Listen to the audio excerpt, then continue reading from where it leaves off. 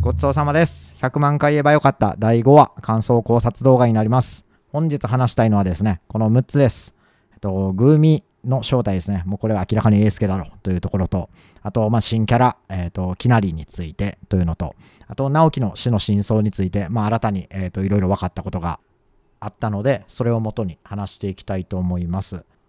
あと、弟が、えっと、葬式に来なかったと思うんですよ。えっ、と、まあ、映像を見返しても、あ、これ弟かなと思った人を、えっ、と、がアップになった瞬間見たら、えっ、と、めちゃくちゃおじさんでしたね。だから、えっ、と、ちょっと弟が葬式に来なかった理由というのも話したいなと思います。で、えっ、と、まあ、この物語自体の、まあ、ラストというか、結末というか、えっ、と、まあ、恋愛要素のところの、えっ、と、ちょっと鍵を握ってるのも弟なのかなともちょっと思ってまして、えー、とそのことも話したいと思います。で、えー、と直樹、ゆい、ゆずの、まあえー、と今後三角関係にちょっとゆずるがゆいのことを好きになってなるということなので、えー、とそのことについても、えー、と話していきます。ということで、えー、とまずはこちら、グーミーイコールエースケじゃないかというところですね。えっと、今までエースケのことをもうずっと疑ってはきてたんですけども、えっと、もう今回はもう映像でしっかりとエースケやったかなと思うんですよ。顎がまずもうそっくりでしたね。下顎、まあ、唇の部分と、まあ、ちょっと顎の部分の横顔ですけど、まあ、映ってたと思うんですよね。まあ、それを見直すと、あの唇のぽってり感と、まあ、えっ、ー、と、顎のラインとが、えっ、ー、と、かなり、エイスケに近い。というか、よしよしでした。絶対に、あれは、よしよしだったと、そう思ってます。なので、えっ、ー、と、まあ、顎がそっくりというのと、あと、まあ、あの、よしよしというか、これはエイスケなんですけど、エイスケよくニット着てるよなっていうのと、まあ1話でもニットを羽織ってたし、まあ割とね、こう、ニットのイメージが、このエイスケの衣装にはあるんですよね。というところと、あとまあ、グミが似合うなっていうのはちょっとありますね。グミが似合うというよりは、このグミをちょっとアップにした時に気づいたんですけども、クエン酸が配合とか、あと、着色料を使っていないとか書かれていたので、えっ、ー、と、これはまあ、えっ、ー、と、エイスケというか、よしよしの方なんですけども、栄養補助食品のイメージもカロリーメイトの CM であるので、なので、あのー、まあ、エイスケとね、あのよしよしが、ちょっとイメージがごっちゃになってはいますが、えっ、と、エイスケイコール、よしよし、じゃなくて、あのえっ、と、グーミ、エイスケイコールグーミというのは、えっ、と、ちょっと間違いないことなんじゃないかなと,、えー、と考えております。続いては新キャラきなりについてなんですけども私が、えーと、この人を見て、えーと、まず思ったのが、えーと、この長島慶三さん、まあ、演じる長島慶三さんが、まあ、35歳ということなんですけども、まあ、きなりの年齢はちょっとわからないんですけども、えー、とちょっとこのミステリアスな中年って珍しいなって思いましたね。このミステリアスな雰囲気って若いうちってなんかこう魅力の一つとしてまあプラスになるっていうことがあって、えーとまあ、その雰囲気をまとって生きてる方多い、まあ、いると思うんですけどもこうやってこう中年になってくるにつれてこうだんだんこう得がなくなっていくというか、まあ、ミステリアスというかちょっと暗いおじさんという印象になっていくので割とこう皆さんねあのミステリアスをちょっと捨てていく中で、えー、とこういうふうにこうミステリアスを続けていくぞと。いうところが見えるのはすごくこう芯の強いキャラクターに、えーと、個人的にはちょっと思っていますね。ただこの個人的に感じた思いっていうのが、えーと、ドラマと,、えーと、関係しているかというと,、えー、とそうではないとは、えー、と分かっているので、まあ、きなりについて、えー、とドラマの話もしたいなと思うんですけども、えーとまあ、分かっているのは、まあえー、と鈴鹿、えー、と殺し高原鈴鹿を殺害した、まあ、犯人ということなのかなというふうに、えー、と思えますよね。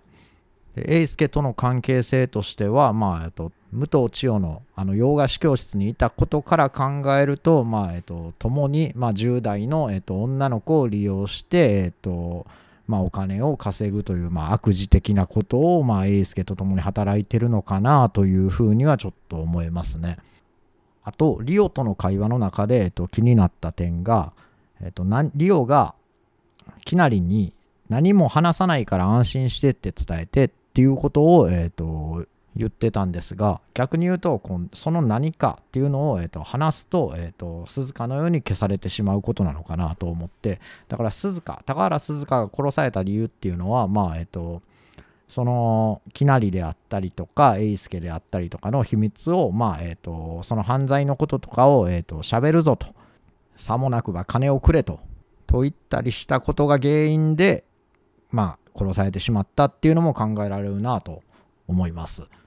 続いて、えーと、こちら直樹の死の真相についてなんですけども、えーとまあ、新しく分かったことで、まあ、背中も刺されていたと。で、えっ、と、まあ、凶器が、まあ、あの、ゴーンゴーンってなってる時に直樹も見てましたが、まあ、あの剪定バサミではないにしろ、ああいう剪定バサミやということが、えっ、と、ちょっと分かりましたが、この剪定バサミというところから思うのが、えっ、と、計画的じゃなさそうやなという。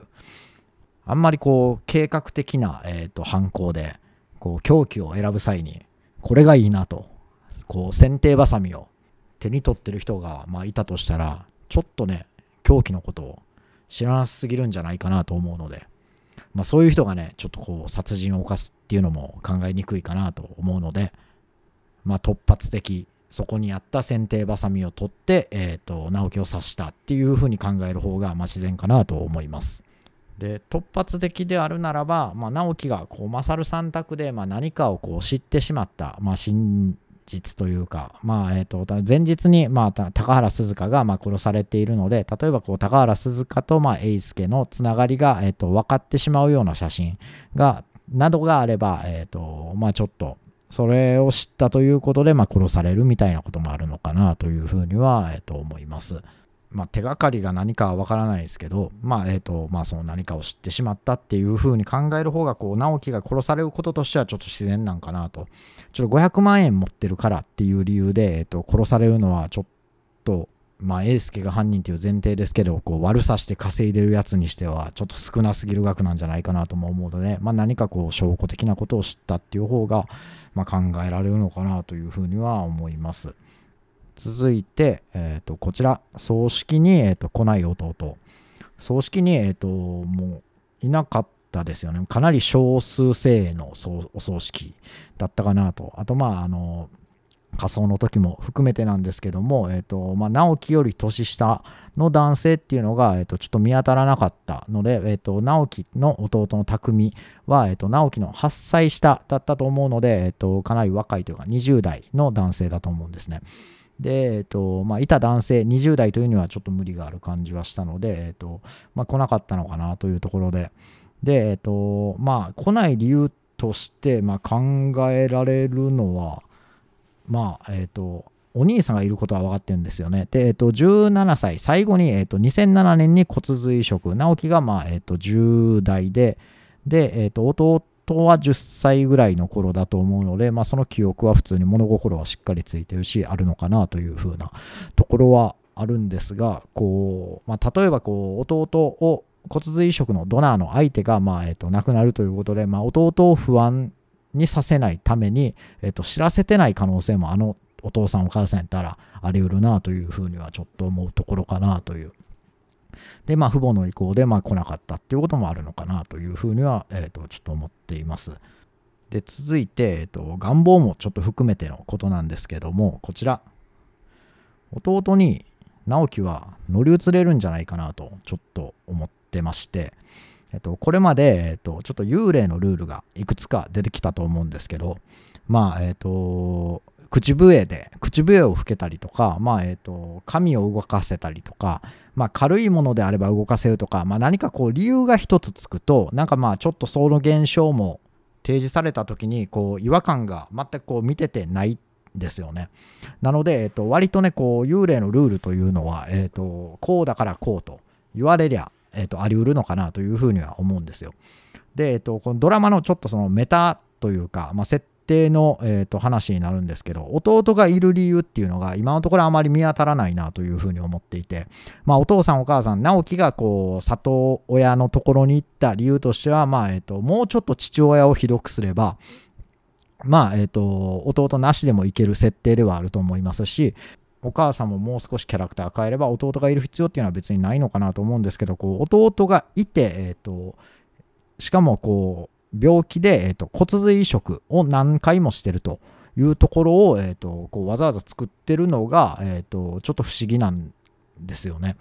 で、えっ、と、それがこう幽霊のルールに、えっ、と、後からこう加わってくることかもしらんなと思うのが、まあ、例えばこう、まあ、直樹の、えー、と体の一部、まあ、血をね、えー、と分けてるっていうことがあるので、まあ、例えばこう体の一部を分け与えてたら、えー、と乗り移れるみたいなことがあっても全然おかしくないことなのかなと思うんですよね。で、えー、とこの弟に例えば乗り移れたら、まあ、今まで、えー、と